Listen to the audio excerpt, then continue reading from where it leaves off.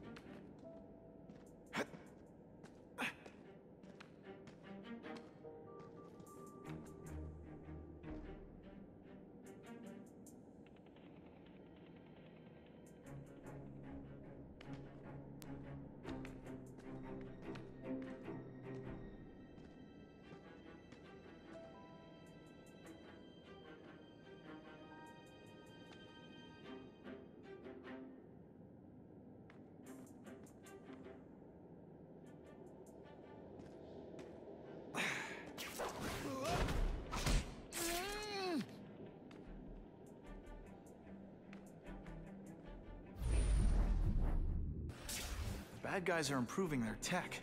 I should do the same.